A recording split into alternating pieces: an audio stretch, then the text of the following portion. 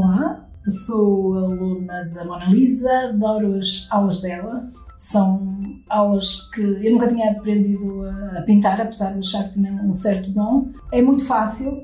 Quem gostar, nem que seja só um bocadinho, deve tentar. A Mona Lisa é uma professora excepcional. Saímos daqui satisfeitas, alivia o stress, eh, faz bem à mente, faz bem, faz bem à saúde e é muito bom. Ficamos com obras muito bonitas graças, graças à professora que temos. Sei que a Mona Lisa faz aulas online, tenho a certeza que o sucesso é o mesmo que as presenciais. Eu não faço porque tenho a disponibilidade de vir, porque senão, se estivesse longe, ou pouca, pouca disponibilidade de tempo, quem trabalhar, quem estudar, pode fazer muito bem online, porque tenho a certeza que tem o mesmo sucesso que, que as minhas aulas presenciais. Estou a adorar.